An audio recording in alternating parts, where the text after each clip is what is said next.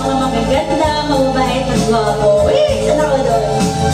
Para ko sa inyo to.